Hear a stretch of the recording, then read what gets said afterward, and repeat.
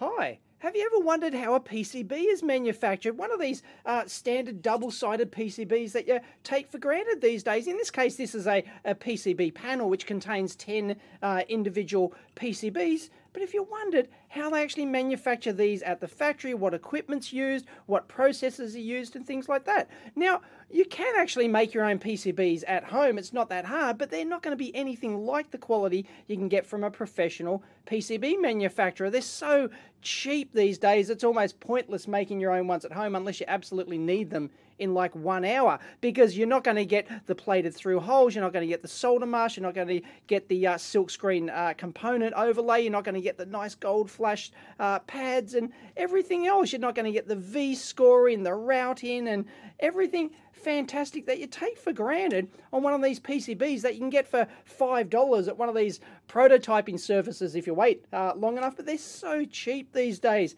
There's actually a lot of steps which goes into manufacturing a professional quality PCB like this one. So we'll take a look at it. Thanks to Richard Brady from uh, PCBZone.net for this uh, video of manufacturing, in this case, an old version of my microcurrent. The video you're going to see is uh, quite a few years old. I've had it in my archives for a long time. I've only just got around to editing this footage. Now, uh, PCB Zone have actually upgraded their factory and their uh, processes and technology since this uh, video was taken, but this video will be a typical example of how sort of, uh, you know, your traditional PCB manufacturing process works. And before you watch this video, it's important to realize that this PCB uh, only has one plated through hole on it. All these other holes here are not plated through, and that's important as you'll see in the video. In this case, it's actually a good example, this uh, panel because it combines uh, the routing paths like this with the V scoring, which is on the edges like that. You can see that. And I've done a video on actually uh, PCB design for manufacture, and it's one of my most popular videos. It's almost approaching half a million views now. So click here if you want to have a look at that one. I highly recommend it. Anyway, let's get on with the show. Now, the first step here is to actually uh, process the Gerber and drill files that you give them. Uh, and there's various ways that they do this depending on what uh, software they use, what uh, machines they have, and everything else. So uh, I don't have any video on that. So we'll just uh, leave that and we'll go straight to generating the film. Now, what you see here is the um, film printing machine. I'm not sure what model this puppy is. And this is the film for all the photo imageable processes. So uh, the copper layers, top and bottom, so you'll have a different film there. You'll have top and bottom silk screen as well. If you've got a photo imageable silk screen, you may not. The manufacturer may actually use an inkjet uh, type uh, silk screen. Silk screen's an old uh, terminology when they actually used to use a silk screening process. I don't think anyone uses that anymore. Inkjets are very popular popular now, so it can direct uh, print onto PCBs. So we're actually going to see a photo imageable uh, silkscreen or component overlay here today. It's a much better process than the uh, inkjet one. You can get much higher resolution, but it's you know it's an additional uh, cost and additional steps uh, involved in here. And then of course we're going to have uh, films for the top and bottom solder mask as well. So we're going to end up with uh, six different films here for this one double-sided PCB.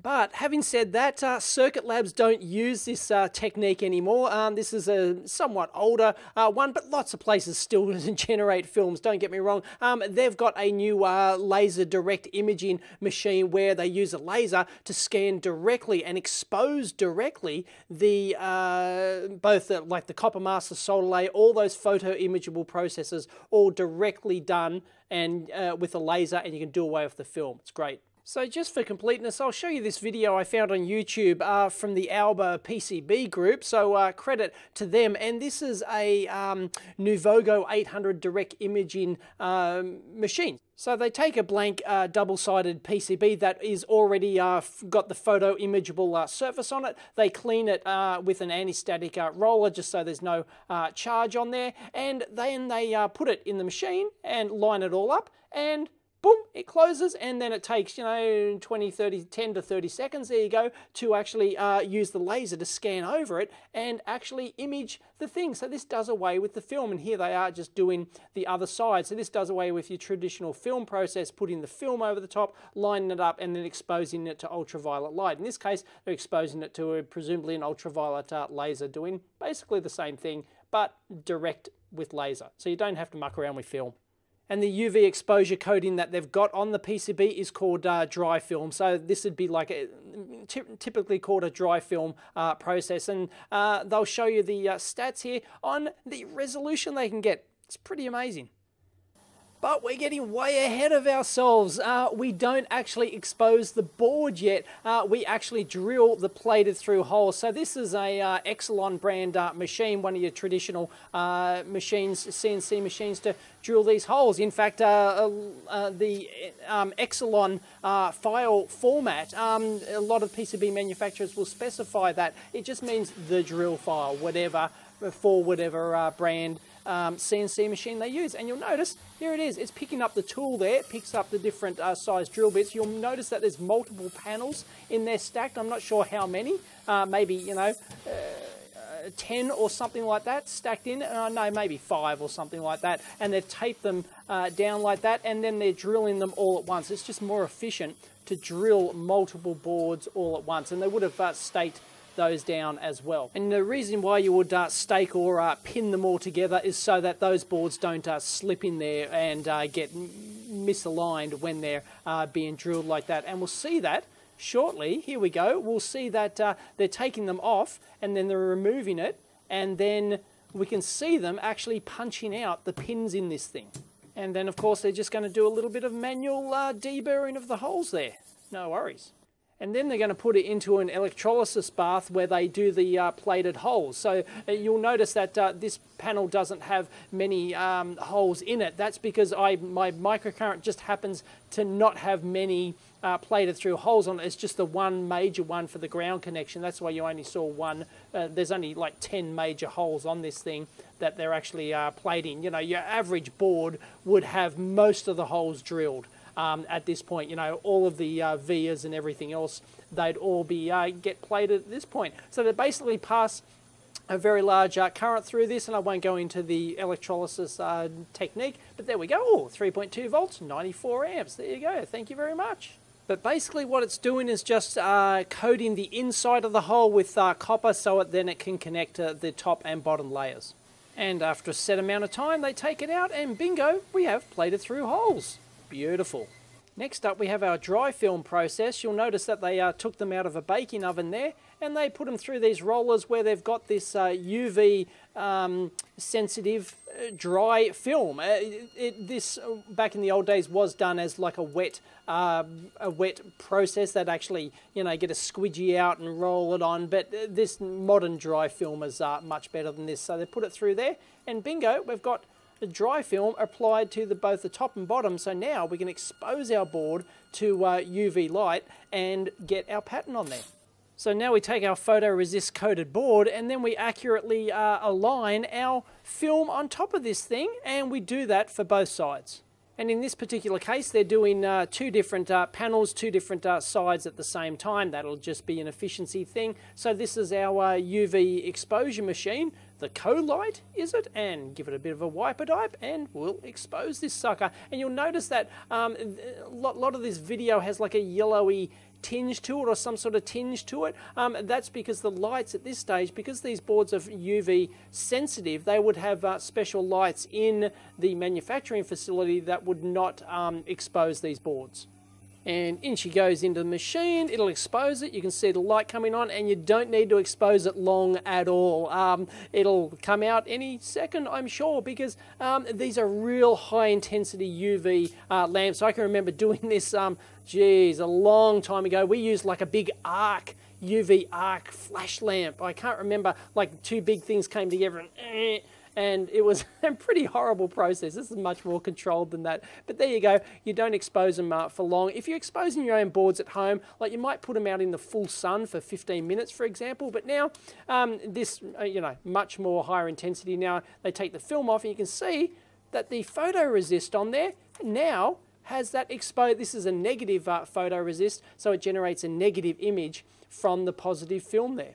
Next up, we peel our dry film off. There we go. And we're going to whack this into the uh, developer machine. This is a big thing with uh, rollers and it's got uh, your developer uh, chemicals in there. And we'll eventually pop out the other side. This takes a bit. It goes through and it uh, develops it, then probably washes it and all that sort of jazz.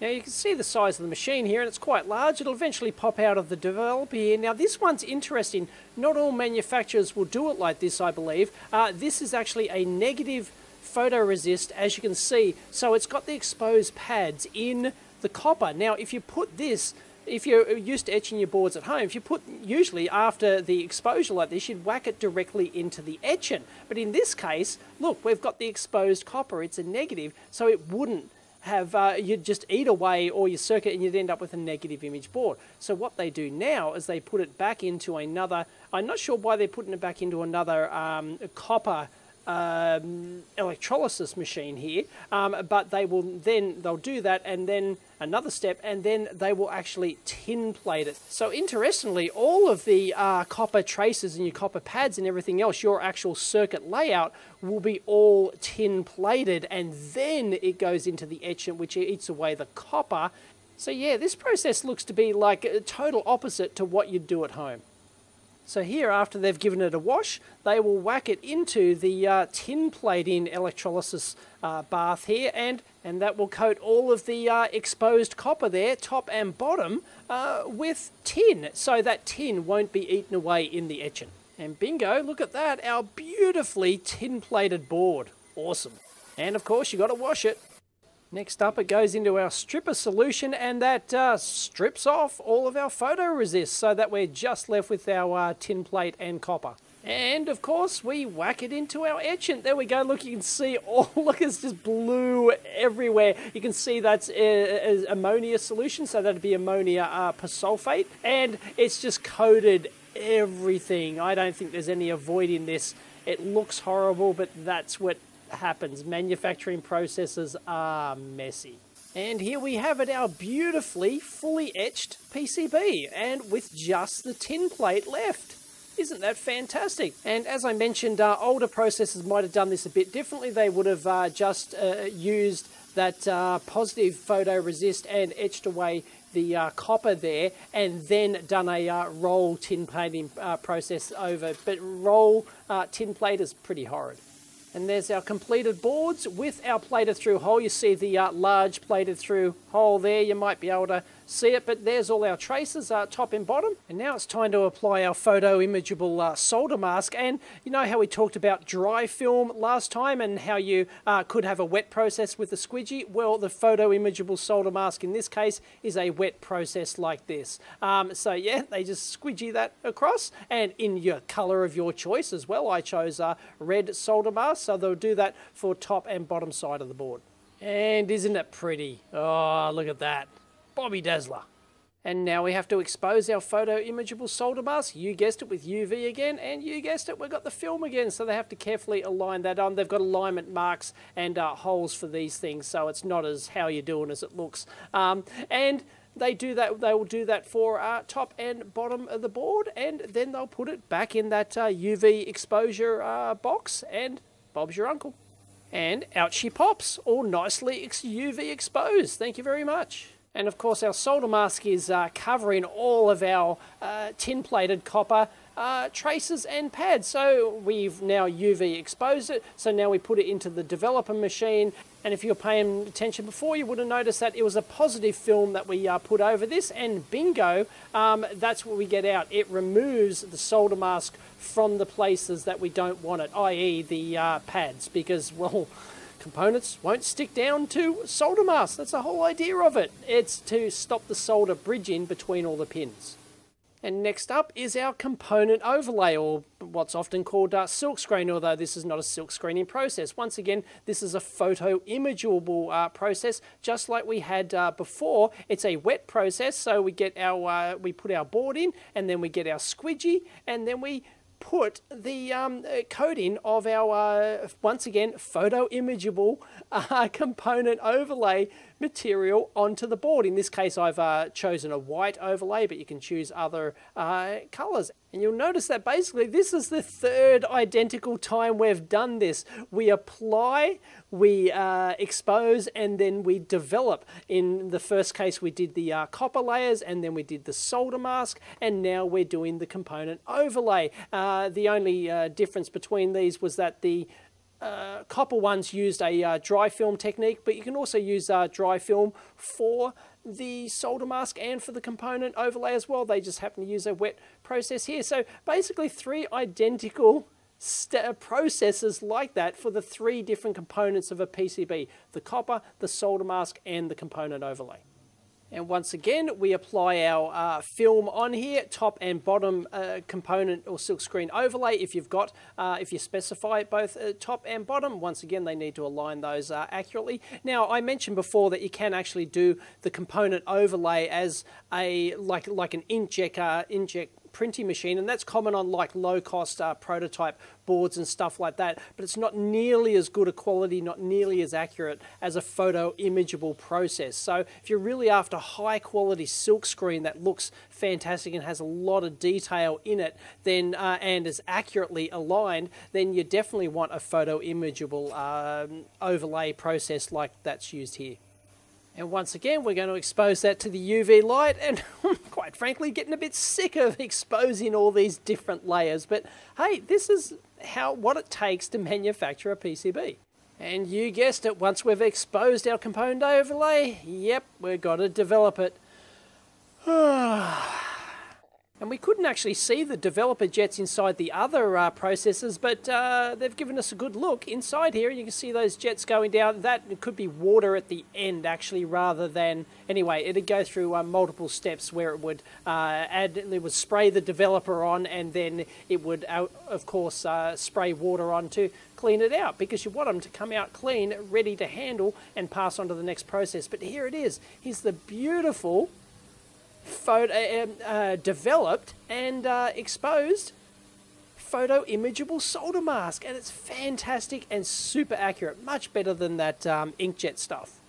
But we're not done yet. No, this um, interesting looking uh, vertical machine is actually a flying probe tester, and uh, this is the electrical test part. A lot of uh, this might be optional extra, or it might be standard in in your uh, process when you get your board manufactured, you might be uh, part of the cost. And you can see they've got two separate probes there, and they're going, they're jumping all around the place and passing the current through to see if there's continuity, and basically tests every uh, trace. It takes your uh, Gerber file and it knows that this trace is this pad is supposed to connect to this pad down here, and it goes and, and that's what's called 100% electrical uh, testing. Usually they do it to 100%. You know, you could what's the point doing 10%? So they go through and, and test every single trace like that.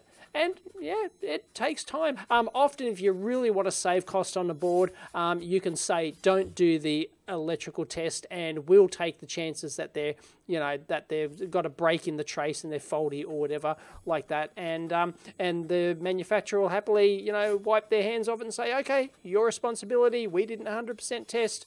You chose to save a bit of money because time is money and they have to put each board through this particular each panel through this uh, process. So that costs money and you can see that they're doing 150 milliamp continuity test there, but they also do an isolation test. In this case, uh, 64 volts. You could specify it. I don't know what uh, standard that is or whether or not that's just their own um, in-house thing, but I'm sure it could do uh, higher and could certainly do uh, lower than that. But they um, test the isolation between adjacent traces. And you thought our board was finished, didn't you? Well, nope. We've got another process. This is the uh, V grooving or V scoring. You'll notice that there's two blades in there. So they're actually doing um, uh, two uh, V grooves at the same time. There we go. And they just, yep, they're making sure it's lined up and then they push it all the way through like that. And this is why um, typically a manufacturer will tell you, oh, we can only V-groove the entire length of the board because to sort of stop a bit of the way in, it's not very accurate. So typically they'll go, yep, we just V-groove the whole thing and this is why. So there's uh, blades on both sides of the board there, so it creates a V on the top and a V on the bottom, and it just leaves a little uh, web in between. And this is how you can snap off uh, your boards. This is how they panelize them typically. Um, this is like a cheaper, easier process and uh, and faster than uh, routing, which we'll see in a minute because we're not done yet. We go back to our good old CNC machine because you remember we've only drilled the one, uh, ju well, just the plated through holes. What if you've got holes in your panel, which you typically might have tooling holes or other holes that are unplated? Well, they do these at the final step. Otherwise, uh, they would have gone through the electrolysis bath and they would have got plated. So here we go. We're punching out all of our uh, non-plated holes and that in the case of my microcurrent here that's for all my uh, switches and you'll notice that to save time once again they've stacked multiple uh, panels together up to, well, whatever your uh, drill and your drill bits are capable of. The, the bigger the stacks, then the more you're going to wear out your drill bits, etc. They'd be a, like a high-speed tungsten carbide uh, drill um, bits on them, but they go through drill bits. This is why you'll actually pay more for the more holes you get. And you might have encountered this on a prototype service. They might say, oh, maximum of 300 holes or 1,000 holes or something like that. Over that, hey, you need a, a you know a better quote, and they'll uh, factor in not only the time to drill these things, because as you saw, it's not particularly quick, um, but also because the drill bits are very expensive and they break them in you know with monotonous regularity, or they just you know they wear out. They have to change them all the time. So really, it you know it's an expensive and slow process. So you'll pay per hole.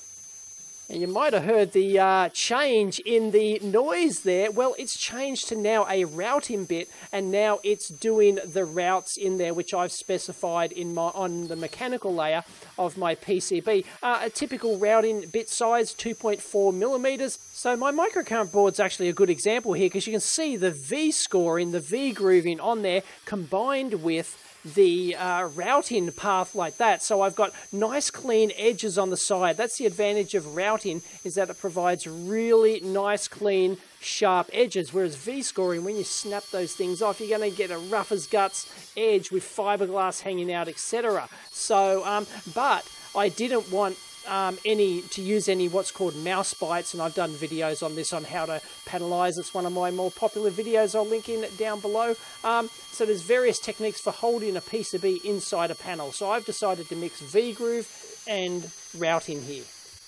And what it's doing here now is actually routing out the final panel, which I specified. So there is like that wasted space all around the outside. They do that for uh, handling and alignment purposes. They've got alignment holes in. As we saw before, they have to stack the multiple panels and they need something, um, the holes, which aren't in your panel, they will add that. So they, you will specify a particular panel size and that's what's being routed out here, but they need additional material, handling material on the outside of that. So if they had a, a, a predefined panel size, you couldn't make your panel that big. They'd go, well, you probably could, but it'd be a special case where they go, oh, we have to add these uh, manual tooling holes and stuff like that. And there's actually one uh, process which we didn't see in this video because this board and process uh, in particular did not have it, and that's the gold plating on the pads, which you'll uh, often either specify, especially if you're doing uh, BGAs and high density uh, stuff like that. You really want uh, really controlled flat surface pads, and gold is excellent for that. Or you might have gold fingers or you know something like that on a card edge. And they actually, you might think that they do a another plating process for that um, electroplating process, but uh, it uses what's called an electroless, i.e., it doesn't uh, use an electrolysis uh, process, uh, hence the name electroless, uh, and it's gold over nickel. So they'll nickel uh, plate it first, and then they'll put the gold over the top. Um, and here's a Eurocircuits video that explains that, so full credit to them. And of course, uh, gold is expensive. It adds up, and so you wouldn't coat your entire board like that. So you'll do the solder mask uh, process first, and then you'll plate the gold just on the pads, because otherwise it'd cost a lot. Gold's not cheap. The copper component pads and holes have been left clear of solder mask. Now we apply a solderable surface finish to protect the copper until the components are soldered onto the board. On this line, we chemically deposit first nickel onto the copper and then a thin coating of gold over the nickel. This is a chemical process needing no electrical connections. The line is fully automated, moving the panels through a series of tanks which clean and sensitize the copper surface and then deposit about 5 microns of nickel and a tenth of a micron of gold. So I hope you enjoyed that, and thank you very much to Richard Brady for shooting uh, this video as my microcurrent panel went through their old uh, factory. They do have a much newer one with uh, newer technology now. So head on over to uh, PCBZone.net to check them out. They're manufactured in New Zealand. Hi to all my New Zealand viewers. And if you're wondering how a multi-layer PCB is made, one with uh, four, six, eight, up to like 20 layers or whatever, um, it's basically the same as manufacturing a double-sided PCB, except they call these a uh, pre-preg and they're much, much thinner, and then they manufacture them as double-sided PCBs like this, uh, but they leave off the solder mask and uh, everything else, and then they just sandwich them, and glue them uh, together as multiple layers. So two, four, six, eight. So they just manufacture them separately and then stack them up, and then they do the final uh, solder mask and uh, silk screen on the outside. But it's basically um, the same way, just lots and lots of more steps. So I hope you liked that video and appreciate what goes into that super ridiculously low cost double-sided PCB that you're getting from one of these uh, modern prototype PCB manufacturers for basically bugger all cost. It almost costs more to post them these days than it costs to make it. There is a lot of steps and it doesn't get any easier than that. All those different processes, they still have to go through that but of course, the uh, prototype assembly uh, places have optimized their processes for, you know, getting the best uh, throughput and margin on multiple designs and uh, stuff like that. But anyway, I hope you found that video interesting. If you did, please give it a big thumbs up and comments and all that sort of jazz down below. Catch you next time. Hi. Previously, I've done a video on uh, design for manufacturing your circuit board, i.e. how to mount it in a panel uh, such as this for production. And I'll link that in down below. It's been incredibly popular one. So this is a kind of a follow-up to that in how to add some automated test functionality to your particular panel to help in testing your final product. This is something that I worked on a few years back and you'll see that on the edge of the product here, which is actually hidden, uh, normally hidden to the user by way of, uh, you know, a mounting rail